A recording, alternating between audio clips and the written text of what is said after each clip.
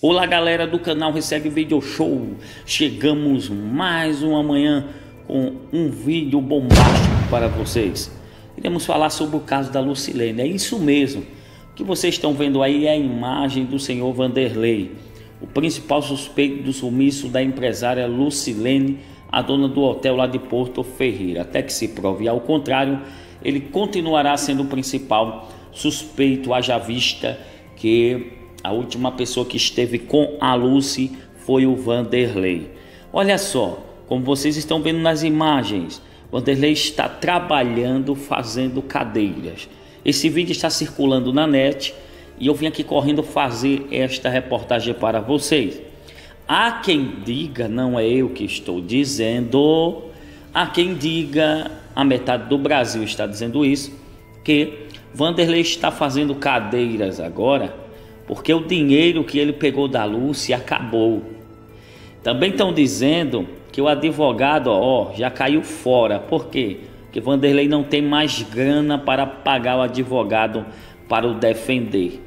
Não somos nós que estamos dizendo, é sim a população, pessoal que acompanha este caso aí desde o início, hein?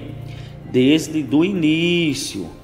Pessoal, Brasil inteiro acompanha este caso, até pessoas fora do Brasil, Portugal, Equador, Uruguai e por aí vai, tá bom, galera? Então, observem esse vídeo que o Vanderlei está manuseando, mostrando as suas habilidades para fazer cadeiras para vender.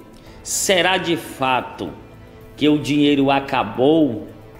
Será que o dinheiro que Vanderlei estava utilizando para pagar o advogado e se manter era o dinheiro do hotel que ele pegou da Lucy, como muitos falam, porque a Márcia cansou de dizer isso. Cansou de dizer isso, tá? É que o Vanderlei ficava com todo o dinheiro da Lucilene.